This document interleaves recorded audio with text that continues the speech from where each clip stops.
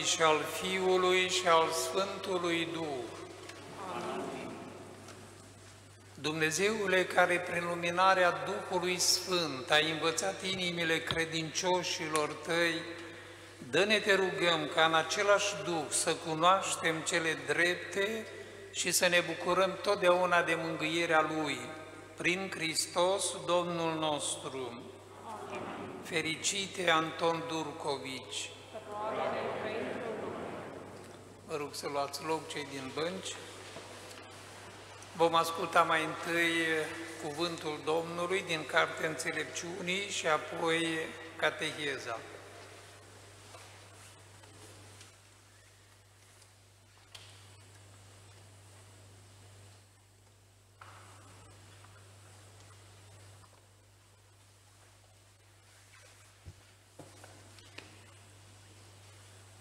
I-a primit ca pe o jertfă de ardere de tot, citire din Cartea Înțelepciunii. Sufletele celor drepți sunt în mâna lui Dumnezeu și niciun chin nu se va atinge de ele. În ochii celor nepricepuți păreau că mor și ieșirea lor era considerată o nenorocire, plecarea de la noi, distrugere, dar ei sunt în pace. Și dacă în văzul oamenilor sunt pedepsiți, speranța lor este plină de nemurire. Fiind disciplinați cu puține suferințe, li s-au făcut multe binefaceri, căci Dumnezeu i-a încercat și i-a găsit vrednici de el. Ca pe aur în foc i-a probat și i-a primit ca pe o jertfă de ardere de tot – în timpul vizitărilor vor străluci și vor alerga ca scânteile printre paie. Vor judeca neamuri, vor stăpâni popoare și Domnul lor va domni peste ei în veci.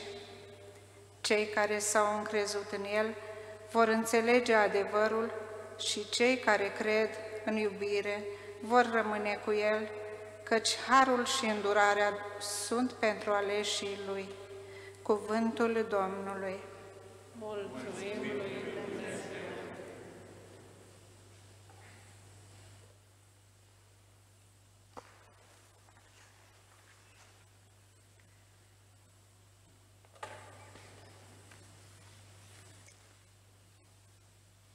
Cucernice Părinte Paroh, Gabriel Bucur, Cucernice Părinte Secretar cancelarius al episcopiei noastre, Vasile Petrișor, iubiți credincioși din uh, parohia Sfântul Anton din Iași și iubiți credincioși care sunteți în comuniune cu noi direct acum prin intermediul Ercis Media și Maria TV la această a doua cateheză din timpul Sfânt al Adventului în care ne aflăm și care, sigur, are tema pe care deja o cunoașteți, speranța, împreună pe drumul speranței. Mă bucur să fiu în mijlocul dumneavoastră în această seară, pentru că împreună, privind la exemplul strălucit pe care ne-l dă episcopul nostru martir, Anton Durcovici, mâine avem sărbătoarea lui, să aprofundăm în lumina exemplului său mai mult misterul credinței, un mister capabil să ne deschidă drumuri noi de speranță, speranță de care avem așa de mare nevoie mai ales în aceste momente de încercare cu pandemia care a cuprins întregul pământ. Cred din toată inima, așa cum uh, am menționat și în scrisoarea pastorală pe care o veți primi în broșuri mic, micuțe uh, în zilele următoare, oricum până la sărbători sau cu ocazia Sfințirii Caselor, că este o scrisoare mai lungă, am menționat acolo că în aceste timpuri de grea încercare pe care le trăim, credința noastră creștină este capabilă să ne ofere alături de un puternic sentiment de fraternitate, de solidaritate și o orientare, un sens care să ne ajute să privim cu speranță dincolo de lucrurile și evenimentele pe care le trăim, ca să descoperim iubirea lui Dumnezeu, iubire care nu dezamăgește niciodată pe nimeni. De fapt, credința ne folosește întotdeauna, dar în mod special ea ne este utilă atunci când este întuneric în jurul nostru, în momentele acestea grele, dificile ale vieții. Așa cum uh, cei mai mulți cunoașteți, în iconografia noastră creștină, încă din antichitate, credința a fost reprezentată, simbolizată de o candelă aprinsă. Candela, lumina, sunt importante pentru noi în viață dar percepem importanța lor mai ales atunci când lumina este stinsă. Lumina candelei ne ajută în astfel de momente să vedem bine, să vedem cu claritate lucrurile care se află în jurul nostru. E bine, la fel și credința. Simțim importanța ei mai ales în momentele de încercare, de dificultate, așa cum sunt și cele pe care le trăim astăzi din cauza acestei pandemii. Lumina credinței, flacăra iubirii de Dumnezeu ne pot ajuta să vedem lucrurile cu mai multă claritate și, sigur, într-o manieră nouă și diferită decât o văd cei care nu au credință, care nu vor să creadă. De ce am insistat și am repetat mereu în această introducere credința, credința, nu vorbim de speranță, ce treabă are credința? Nu putem separa credința de speranță. Sunt cele trei, credința, speranța și iubirea. Virtuțile teologale, adică acelea care ne leagă de Dumnezeu. Credința, speranța și iubirea. Trebuie să știm că tocmai credința este aceea care ne deschide drumuri noi de speranță tuturor. Astăzi, în seara aceasta, la a doua cateheză din timpul Adventului, doresc să vă propun un exemplu eminent de credință, de speranță și de iubire în uh, episcopul nostru martir Anton Durcovici, pe care îl sărbătorim mâine. În momentele grele ale vieții sale, flacăra credinței, vom vedea îndată, i-a alimentat speranța dând astfel o mărturie convingătoare care ne poate ajuta și pe noi, cei de astăzi care trecem prin perioada aceasta grea. Cunoașteți în mare parte viața fericitului Anton Durcovici. În momentele grele, speranța pe care o avea în sufletul său datorită credinței puternice în Dumnezeu, l-a făcut să se apropie de poporul al cărui păstor era și să-i încurajeze, să le dea speranță în momentele grele și chiar atunci când a fost închis la sighetul Marmației, el a fost un uh, exemplu strălucit de speranță, încurajându-i pe toți, spunând, vor veni și zile bune, fericite pentru dieceza noastră, pentru Sfânta Biserică. Și au venit, dar el a știut să mențină credința, speranța și iubirea în sufletele acelora care au fost încredințați spre păstorire, vizitându-i chiar înainte de a fi arestat și apoi, cum spuneam, încurajându-i pe cei din închisoare. Trei puncte vreau să scot în evidență privind la acest model strălucit care este Anton Durcovici pentru noi toți. Primul, cine a fost Anton Durcovici? Al doilea, ce ne poate spune nouă celor de astăzi Anton Durcovici? Și în al treilea rând, cum a reușit episcopul Anton Durcovici să rămână fidel? Ce mesaj ne transmite el nouă astăzi? Le luăm la rând. Primul punct. Cine a fost Anton Durcovici? Și nu-i prezint detailat viața, doar câteva cuvinte care ne pot ajuta să trăim și mai bine sărbătoarea de mâine, în cinstea lui. S-a născut la 17 mai 1888, e ușor de ținut minte, 3 de 8, 1888, 1888, s-a născut în Austria, la Bad Deutsch-Altenburg, nu prea departe de Viena. Rămas fără tată la vârsta de 5 ani numai, el vine împreună cu mama sa, Maria, și cu fratele său Francisc aici, în orașul nostru, la Iași. După câțiva ani se mută la Ploiești, iar Anton merge să studieze la București. Mai întâi la școala catolică, apoi la seminarul Duhul Sfânt. Așa se numește seminarul, se numea seminarul din București. În anul 1906 merge la Roma, unde obține două doctorate în filozofie și teologie și o licență în dreptul canonic.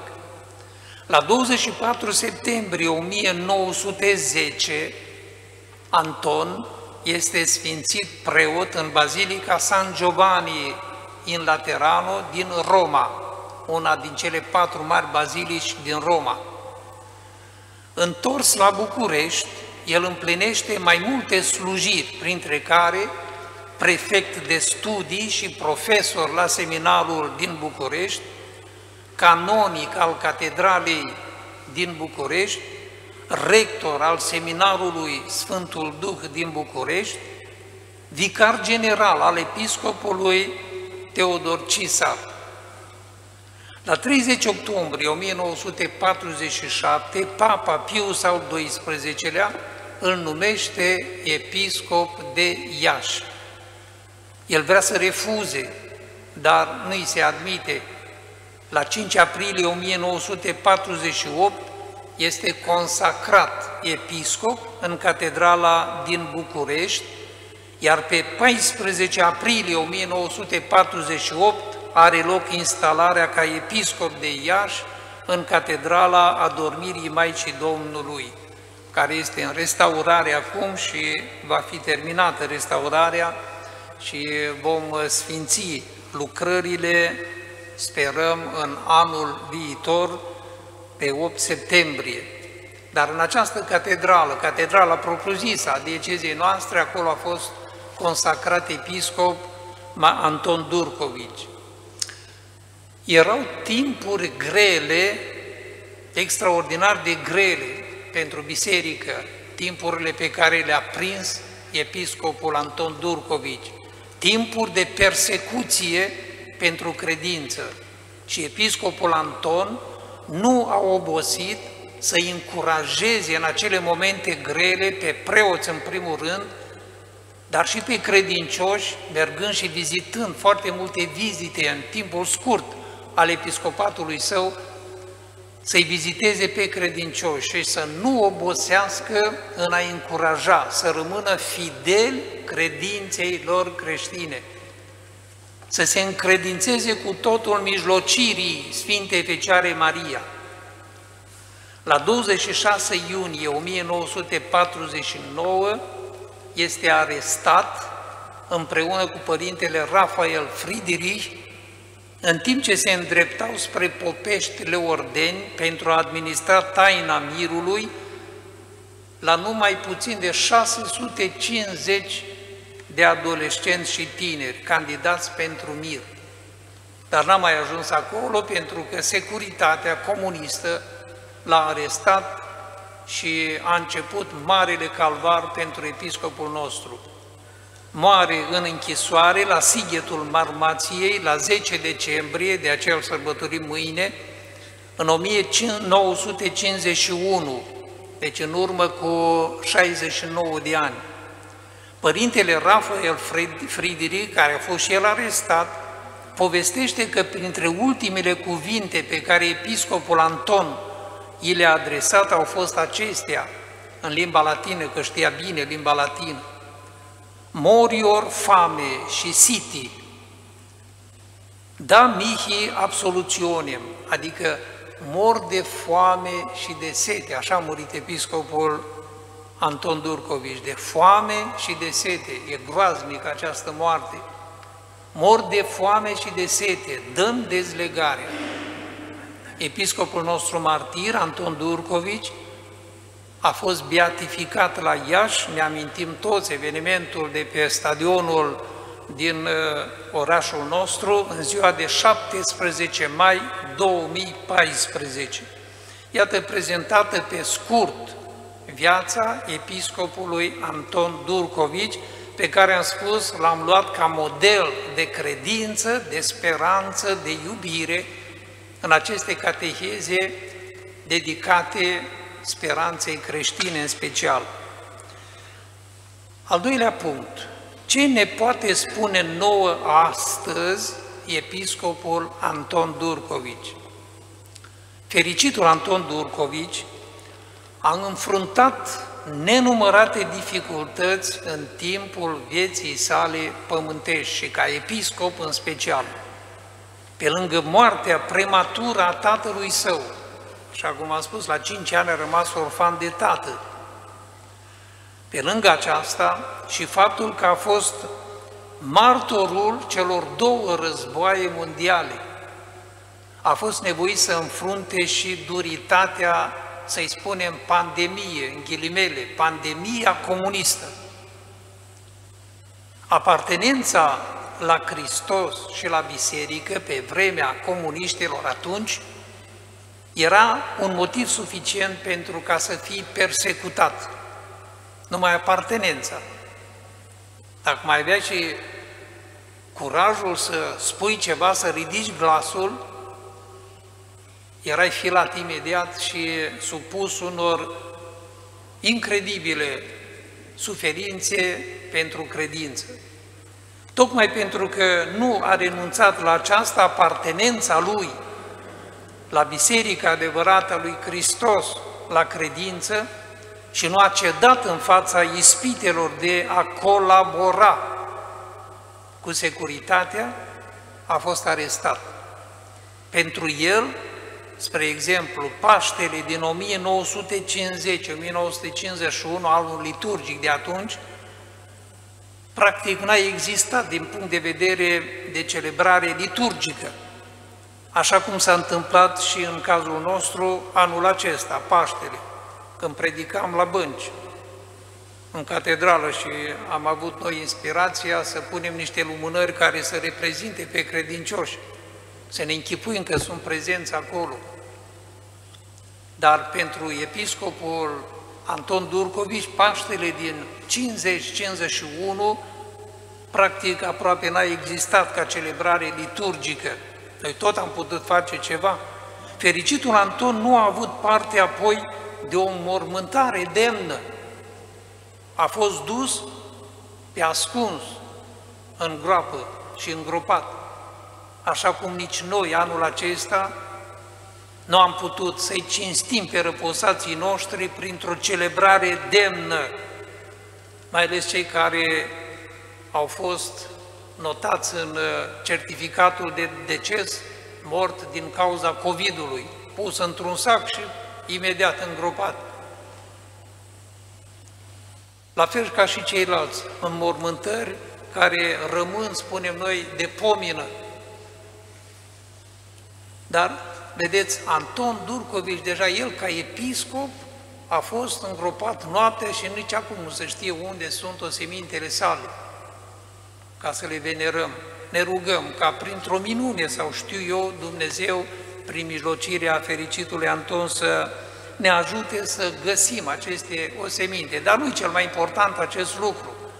A subliniat suferințele teribile prin care a trecut episcopul Anton Durcovici.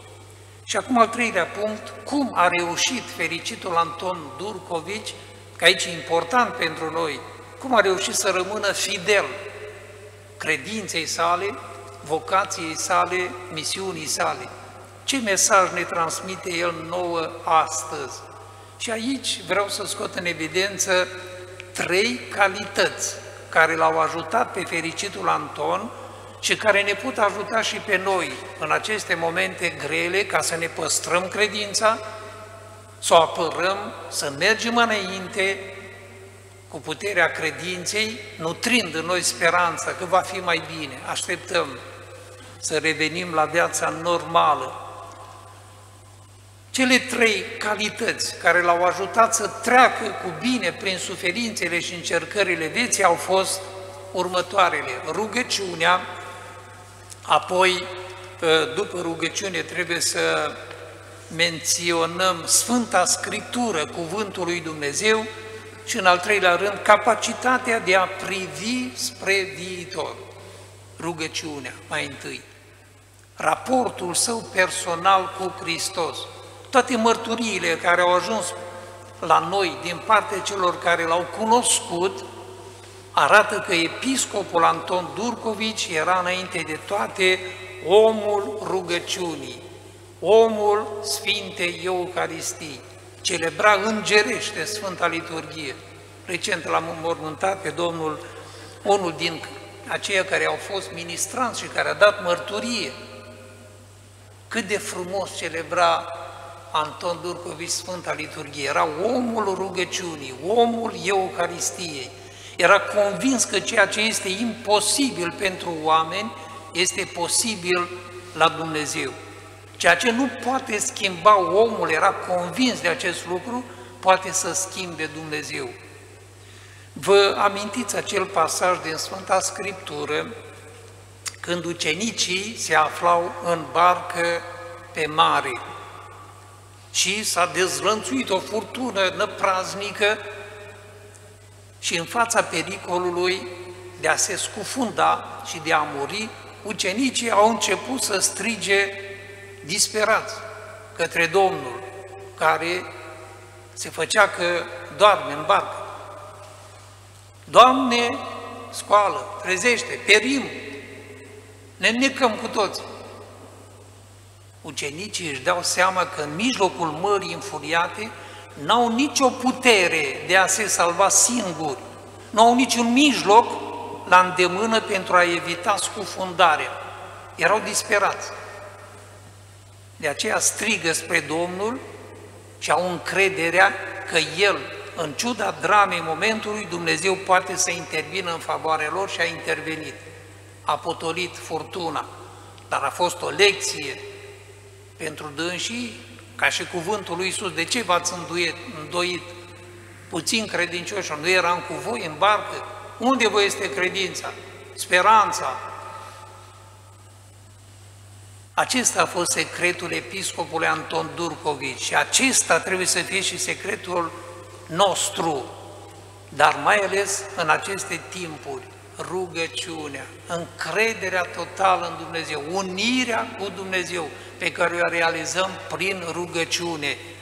Rugăciune, de fapt, este, așa cum se spune, puterea omului și slăbiciunea lui Dumnezeu. E frumoasă și interesantă această definiție puterea omului, slăbiciunea lui Dumnezeu, rugăciunea.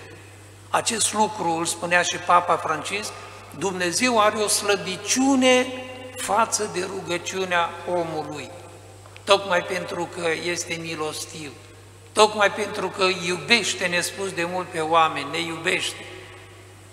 Chiar dacă ne pune la încercare, să nu uităm că El este Tatăl nostru, El conduce totul, toate sunt în mâna Lui, soarta fiecăruia în parte și soarta omenirii întregi.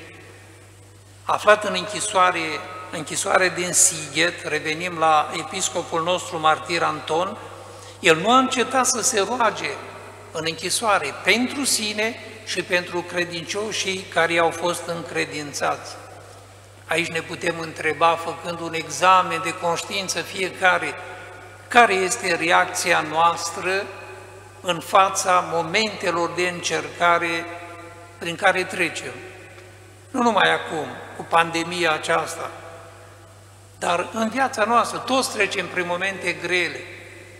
Și atunci avem nevoie de credință, speranță, iubire. Și rugăciunea ne ajută foarte mult. Dar care este reacția noastră? O altă întrebare, ne încredem în Dumnezeu și apelăm la ajutorul Lui în momentele grele ale vieții? Ne rugăm doar pentru noi sau ne amintim în rugăciune și de frații noștri? Să nu ne gândim numai la noi. Dacă am scăpat eu, nu m-a prins COVID-ul, data treaba e bună. Să ne gândim la toți semenii noștri și să ne rugăm ca să depășim greutățile prin care trecem. Al doilea lucru sau al doua calitate a fericitului Anton Durcovici este Sfânta Scriptură.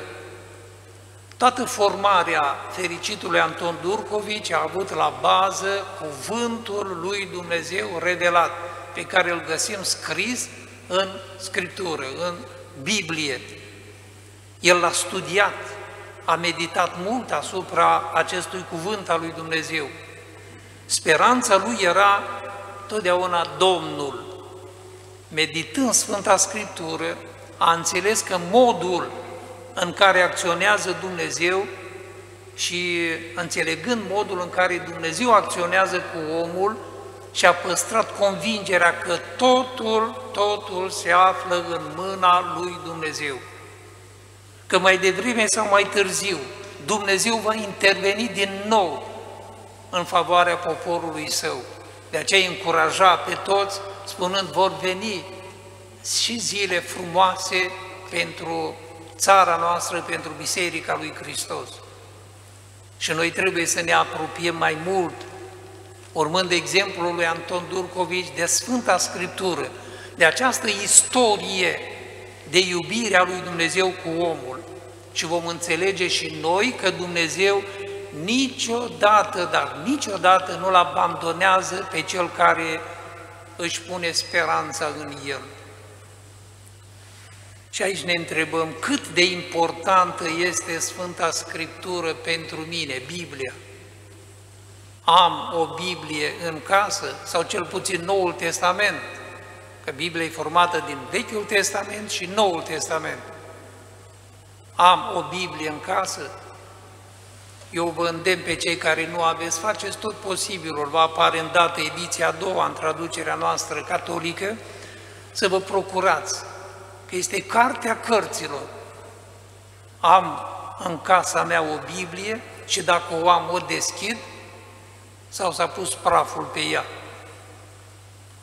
Și dacă o deschid când? Ar trebui în mod constant, cum mâncăm în fiecare zi, că dacă nu mâncăm tragem pe dreapta, cum se spune, dăm colțul, la fel ar trebui să înțelegem sufletește că avem nevoie de cuvântul lui Dumnezeu.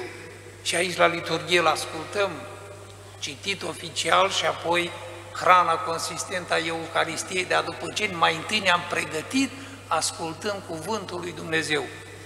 Și ultimul uh, punct, sau a treia calitate care l-a ajutat pe fericitul Anton să se mențină tare în credință în momentele grele ale vieții a fost capacitatea lui de a privi în viitor. Din rugăciune și din meditarea cuvântului lui Dumnezeu, episcopul Anton Durcovici a însușit această capacitate de a privi cu speranță spre viitor.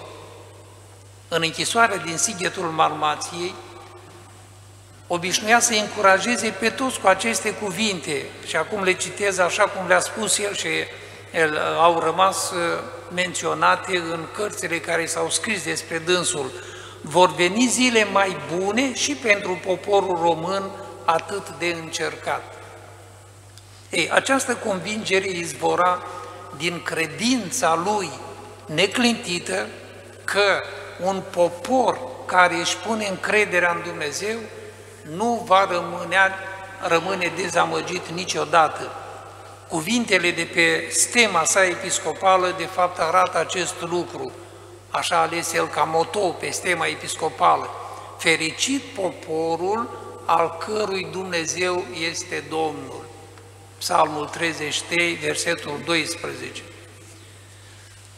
Iubiți credincioși, capacitatea aceasta de a privi în viitor, aceasta trebuie să ne, ne însușim și noi pentru a putea transmite apoi și altora acest lucru, că e important să știm să privim cu credință, cu speranță, cu iubire adevărată în Dumnezeu spre viitor și să nu rămânem niciodată blocați în fața greutăților, dificultăților. Să nu uităm că această capacitate de a privi în viitor este proprietatea, ca să spunem așa în ghilimele, a celor care îl caută pe Dumnezeu și a celor care îl găsesc pe Dumnezeu. Unde? În rugăciune și în Biblie, în Sfânta Scriptură. Cei care ați fost ieri sau ați urmărit Sfințirea diaconilor, eu le-am menționat să nu uite niciodată aceste două lucruri pe care ei le-au primit ca diaconi, amândouă începând cu litera B mare, Biblia, breviarul. Biblia, Sfânta Scriptură, breviarul, carte oficială a Bisericii de rugăciune. În concluzie, aceste timpuri pe care grele, pe care le traversăm, să fie pentru noi toți o ocazie de a intra în noi înșine pentru a descoperi ceea ce contează cu adevărat în viața noastră, fundamentele vieții noastre de credință. Acum este timpul potrivit să descoperim nevoia noastră de Dumnezeu. Avem nevoie de Dumnezeu. Nu ne putem descurca fără Dumnezeu. Ne împotmolim fără Dumnezeu nevoia de a fi salvați de Cel care singur ne poate ajuta, Dumnezeu, care atât de mult a iubit lumea încât l-a trimis pe Fiul Său și noi ne pregătim să celebrăm în fiecare an, acum în timpul Adventului, să celebrăm venirea pe pământ a lui Dumnezeu. Singur nu vom reuși să trecem prin greutățile vieții. Singur nu vom reuși. Doar credința că ne va da capacitatea, doar credința este aceea care ne va da capacitatea de a privi dincolo de aparențe. Doar credința ne va da speranța de a privi spre viitor și de a deschide cu adevărat drumuri noi de speranță pentru noi și pentru alții. Fericitul Anton Durcovici, să mijlocească de la Domnul darul credinței care aprinde în noi speranța. După exemplul lui, să fim și noi în mijlocul fraților noștri martori ai speranței, încercând să, să încurajăm cu mângâierea credinței pe toți cei care se simt descurajați și înspăimântați. Și vom avea mărturii în data acum după ce păstrăm câteva momente de tăcere, să reflectăm asupra celor auzite pe un fond muzical și rog pe cei care s-au pregătit să facă acest lucru. Fericite Anton Durcovici, roagă-te pentru noi!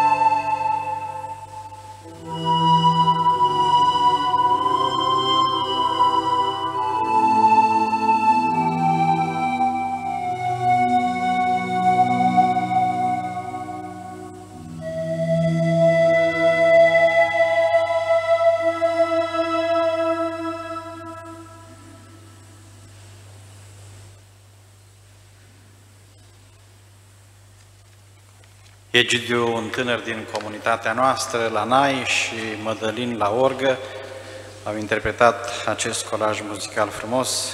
Vă mulțumim! Prin care am putut să reflectăm asupra cuvintelor pe care ne le-ați spus, prea sfințite. Și noi ne bucurăm că sunteți prezent în comunitatea noastră.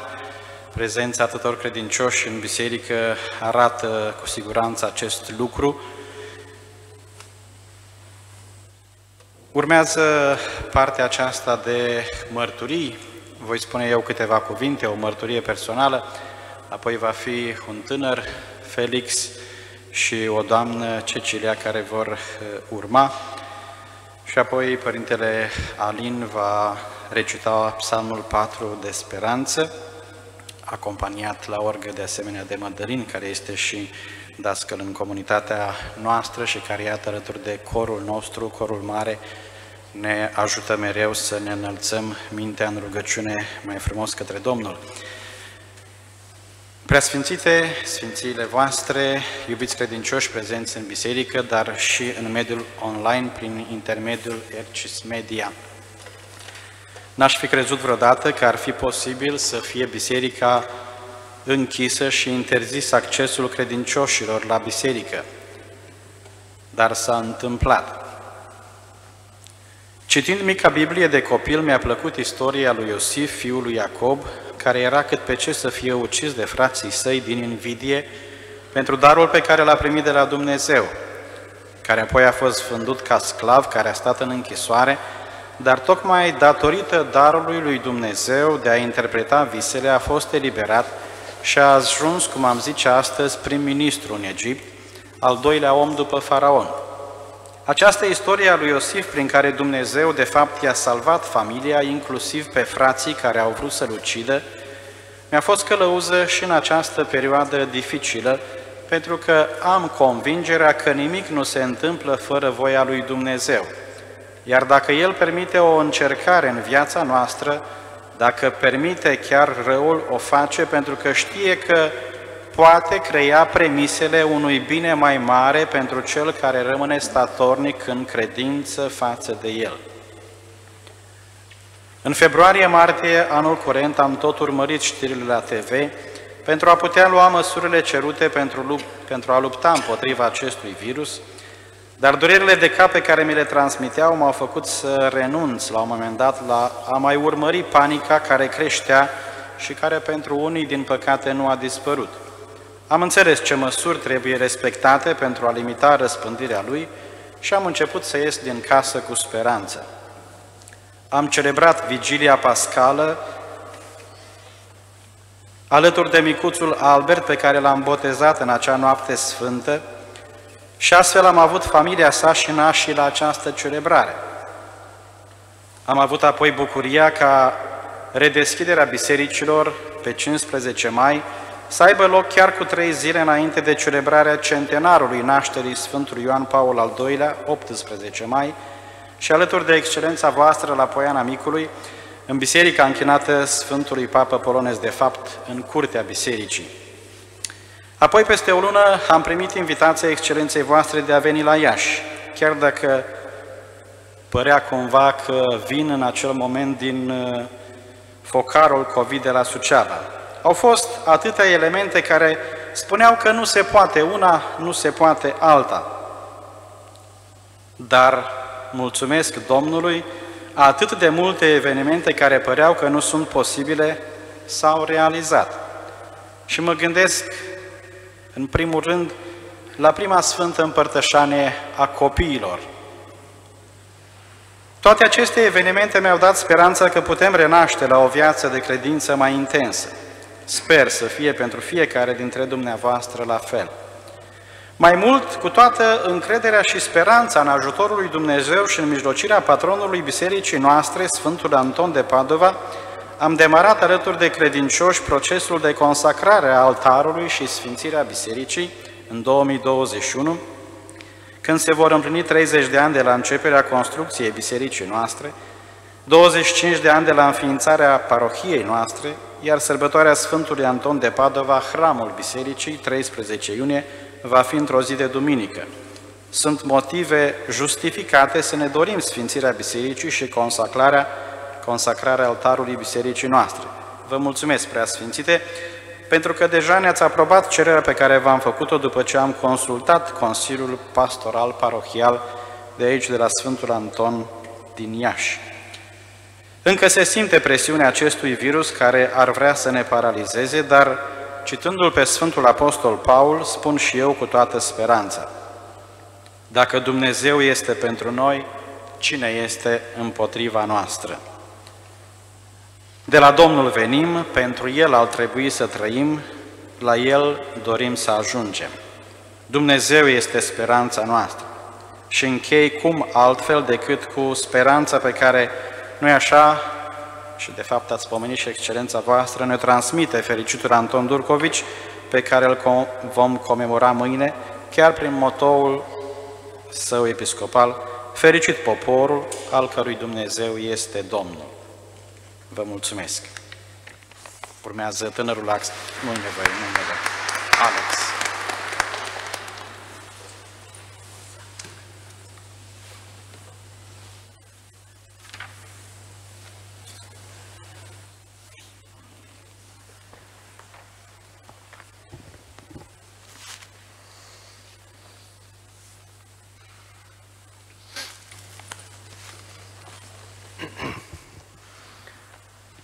Preasfințite, dragi preoți, iubiți frați și surori în Hristos, dragi ascultători uniți cu noi prin intermediul internetului și al celorlalte mijloace media.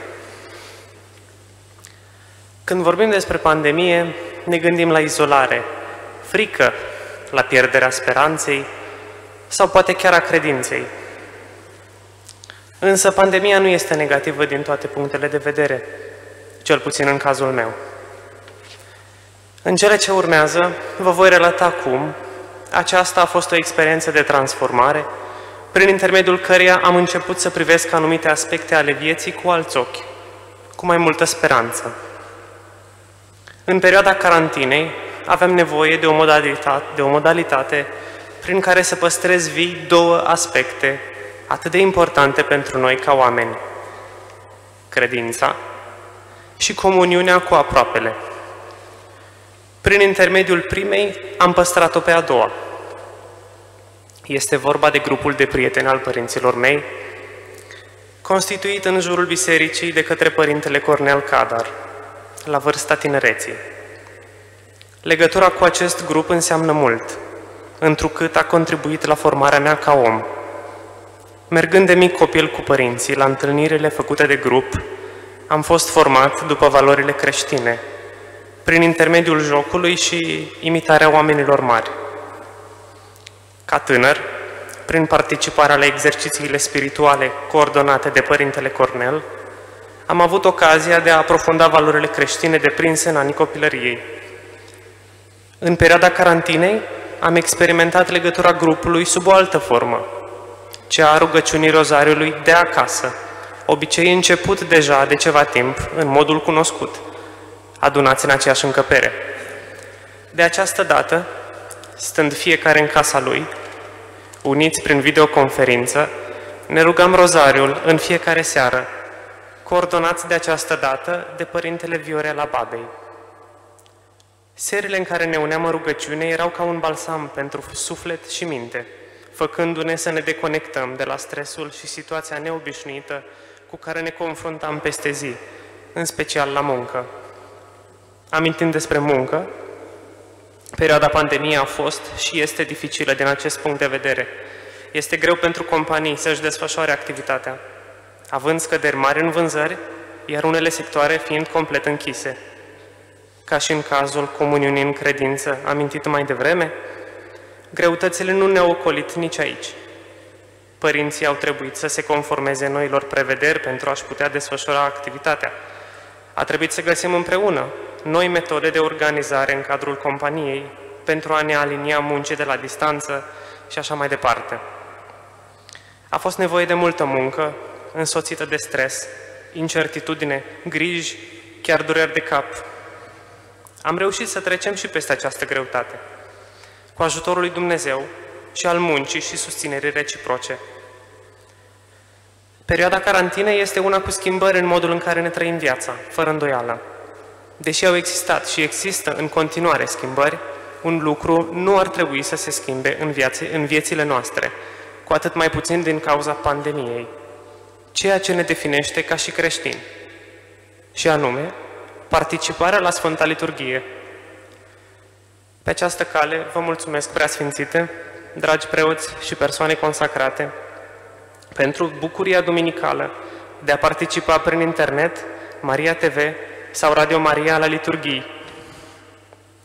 Am trăit, ca și în cadrul, cazul rozariului de la distanță, un nou mod de practicare a credinței, biserica domestică. Nu am putut merge noi la biserică, dar am adus-o acasă. Iată că, dacă avem bunăvoință și voință, nici izolarea nu ne oprește să fim creștini și să participăm la jertfa lui Isus în Euharistie. Cu această ocazie am aflat despre împărtășania spirituală și am experimentat dorul după forma ei fizică, pe care, înainte, o vedeam doar ca pe o obișnuință, nu ca pe o nevoie sufletească. Un moment de o importanță și comuniune foarte mare a fost liturgia din noaptea de Paște. Strânși în fața televizorului, cu lumânări în mână și în videoconferință cu grupul, am luat parte astfel, nu o familie, nu doar o familie de trei persoane, ci mai multe familii, împreună, la solemnitatea și bucuria învierii lui Isus, care a poposit în casele noastre, dovadă fiind lumânările aprinse la ferești, ducând cu toții dorul bisericilor. Cred că sentimentul a fost același și din partea păstorilor noștri, drept dovadă grija cu care au așezat în catedrală lumânările pe bănci, umplând-o de prezența noastră spirituală. Sosind momentul ridicării restricțiilor, ne-am întors în casa lui Dumnezeu. L-am reîntâlnit fizic în Euharistie, în sacramentul spovezii. Liturghiile în curțile bisericilor au fost, aș spune, un mod prin care ne-am deschis, ne-am trăit credința în mijlocul lumii. Cu toată bucuria reîntoarcerii, iată că suntem puși în fața unei societăți schimbate, a oamenilor parcă mai temători unii față de alții, mai înstrăinați. Dar nu trebuie să, ne pierdem, să pierdem din vedere un lucru. Ca oameni, trebuie să socializăm, să trăim în comunități. Efecte ale pandemiei, izolarea și mai ales ai privi pe semenii noștri cu suspiciune, ca și cum au în ei o natură rea, nu ne fac nici nouă și nici lor bine. De fiecare dintre noi ține să nu ne închidem în noi, în carapacea noastră, în casele noastre, să nu fugim de semenii noștri. În încheiere, aș dori să vă îndemn să nu vă pierdeți speranța. Speranța că pandemia se va termina, dar că din această experiență vom ieși transformați în bine, mai încrezători și recunoscători lui Dumnezeu, care, iată, vine și anul acesta de Crăciun la noi. Și de asemenea, reiau îndemnul de mai devreme, să nu ne izolăm de aproapele nostru, să-l privim, să-l ajutăm, ca să ieșim împreună din această experiență. Vă mulțumesc!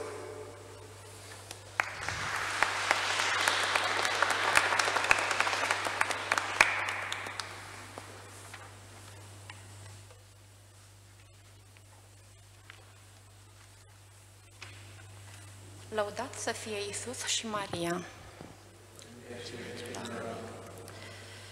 Ultimul an a fost pentru mulți dintre noi un an plin de încercări în care am fost nevoiți să trecem prin multe provocări. Am stat în casă, am renunțat la activitățile cotidiene, iar unii dintre noi am pierdut locul de muncă, chiar oameni dragi, sufletului nostru. Dar cu toate acestea, nu ne-am pierdut încrederea în Dumnezeu. De aceea, preasfințite Iosif, am hotărât să vă adresăm câteva cuvinte în care să vă povestim despre viața comunității noastre în timpul pandemiei, dar și despre flacăra plină de speranță care există în fiecare dintre noi. În prima parte a acestui an, restricțiile impuse și riscul de îmbolnăvire ne-au pus în situația de a renunța la participarea fizică în viața comunității. Activități precum cateheze, rozarii sau chiar Sfânta Liturghie au fost mutate în mediul online. Deși a fost un pas foarte greu de făcut, această situație neplăcută a avut totuși rolul ei. Am descoperit importanța Sfintei Liturghii. Acum trăim cu mult mai multă bucurie în suflet frumusețea acesteia. Am învățat să apreciem sentimentul de liniște și pace pe care îl simțim atunci când suntem aici în biserică, mai aproape de Dumnezeu. Am realizat că rugăciunea se poate face oriunde, atât timp cât sufletul și gândul ne sunt la Tatăl nostru Ceresc. Până acum un an, eram obișnuit să interacționăm zilnic cu mulți oameni, fie la serviciu, la școală sau pe stradă. Însă locul în care comunicarea era atât de prezentă, de prezentă era acasă. Oboseala, acumulată pe zi, parcă eclipsa nevoia de a mai interacționa cu cei dragi. Pauza pe care am luat-o cu toții în ultimele luni ne-a ajutat să reclădim casa noastră, dar și să ne apropiem mai mult de familiile noastre, petrecând mult mai mult timp împreună și descoperind lucruri interesante despre noi. Timpul pandemiei a fost și este pentru fiecare dintre noi un timp de încredere, de noutate, dar și de creștere. Chiar dacă ne-am confruntat cu situații mai dificile, noi ne-am hotărât să ne unim plin de speranță și să îi cerem Bunului Dumnezeu să ne ajute să depășim situația actuală, dar și să rămânem cu frumoasele lecții de viață pe care le-am învățat în această perioadă, împărtășindu-le cu bucurie și privind părțile bune ale acestei pandemii. Vă mulțumesc!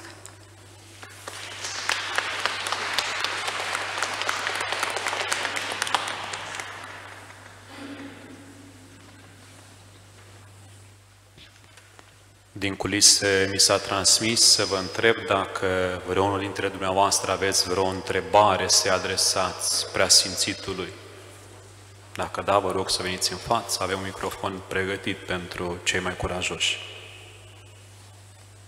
Dacă mai gândiți între timp, eu vă invit în continuare să medităm la un psalm al speranței. Este vorba de psalmul al patrulea, și desigur voi fi ajutat în meditarea acestui psalm alături de dumneavoastră și meditarea conținutului său de către domnul Mădălin la orgă. Când strig către tine, răspundem Dumnezeul dreptății mele. Din strâmturare mai scos în larg. Hai milă de mine și ascultăm rugăciunea. Fie oamenilor, Până când veți desprețui gloria mea? Până când veți iubi deșertăciunea și veți căuta minciuna? Să știți că Dumnezeu face minuni pentru cel credincios. Când strig către El, Domnul mă aude. Cutremurați-vă și nu păcătuiți. Meditați acestea în inimile voastre, în așternuturile voastre și fiți liniștiți. Aduceți jertfe de dreptate și încredeți-vă în Domnul. Mulți spun, cine ne va arăta ce este bine? Fă să răsară peste noi, Doamne, lumina feței tale. Tu pui mai multă bucurie în inima mea decât au ei atunci când îi se mulțește grâul și vinul. Eu mă culc în pace și adorm îndată, căci numai Tu, Doamne, mă faci să locuiesc în siguranță.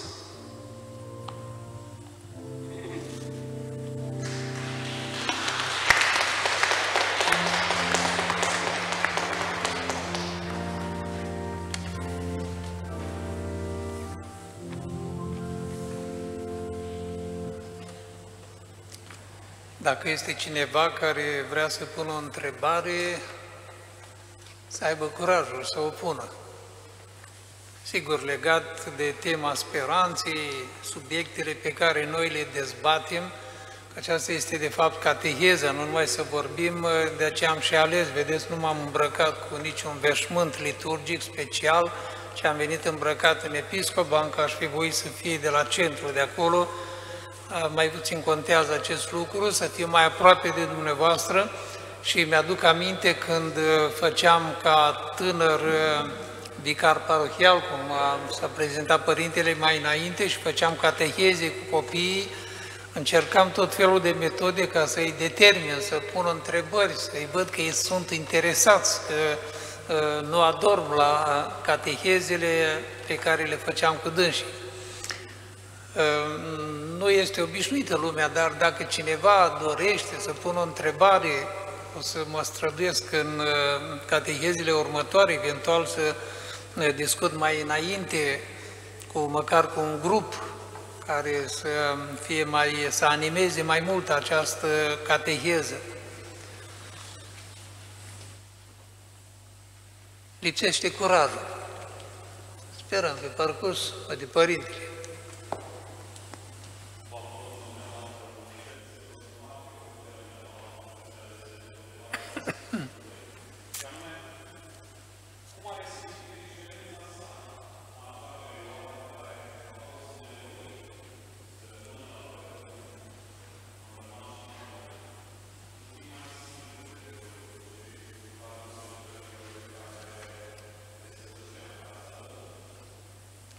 Da, ne vă mărturisesc cu toată sinceritatea că a fost o perioadă grea și s-a întâmplat chiar la începutul mandatului meu de uh, slujitor al bisericii ca episcop de Iași să trăiesc aceste uh, momente de încercare, dar gândindu-mă și la reflexia de astăzi, la experiența pe care a avut-o episcopul nostru martir Anton Durcovici, Cred că n-am avut totuși uh, acele încercări așa de grele prin care a trecut el.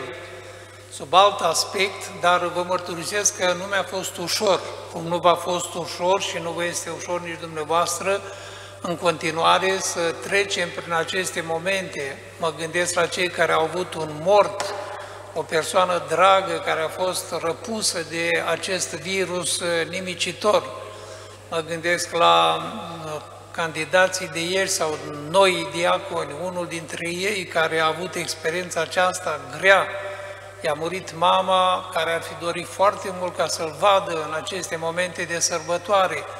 Dar câte alte experiențe auzim. Deci nici pentru noi preoții, nici pentru mine ca episcop, vă mărturisesc că nu a fost deloc ușor, dar cu puterea credinței am mers și vă îndemn și pe dumneavoastră să mergem înainte, sperând că Dumnezeu, punându-ne la această încercare, ne va ajuta să o depășim și să mergem înainte pentru a ne manifesta așa cum se cuvine și cu noi puteri, într-o nouă viziune, transformați, um, convertiți viața noastră creștină în mijlocul lumii putem trage și din rău mult bine. Din această încercare învățăm multe și dacă Dumnezeu așa a permis și permite acest lucru, nu, te, nu trebuie să-L judecăm, ci să acceptăm voința Lui și plin de speranță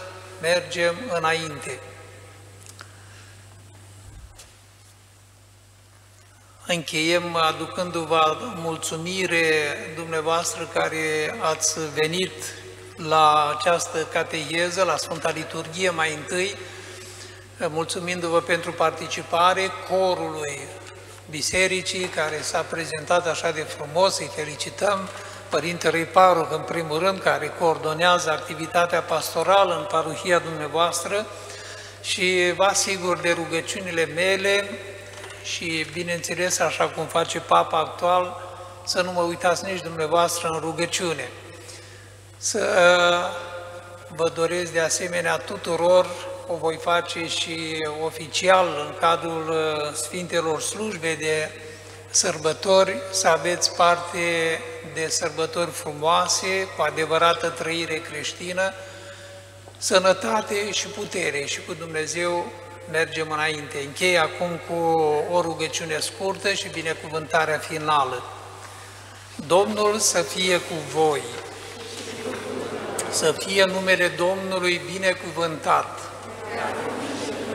slavă Tatălui și Fiului și Sfântului Duh.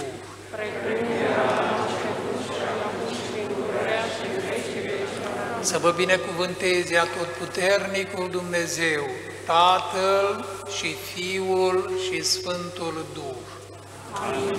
Cateheza din seara aceasta s-a încheiat. Mergeți și trăiți în pace. Am adus mulțumire, dar am mai amintit uh, echipei care transmite aceste cateheze. Este un pic mai greu pentru dânsii că trebuie să se deplaseze în diferite parohii, că așa am ales anul acesta să fac catechezele pentru a fi mai aproape de popor. Le mulțumim celor de la Ercis Media și Maria TV care au preluat și au făcut posibil ca mulți să poată urmări aceste catecheze și să le fie de folos.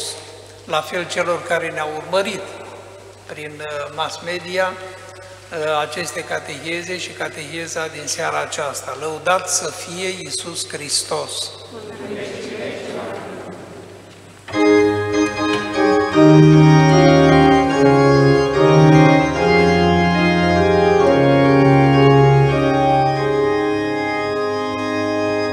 Azi, Doamne, Te slăvim și Ție-ți mulțumim, spre plaiurile noastre mâna Ta ai întins, pe Cel ce Te-a slujit cu râvnă și smerit, martir pentru credința Romei, la noi la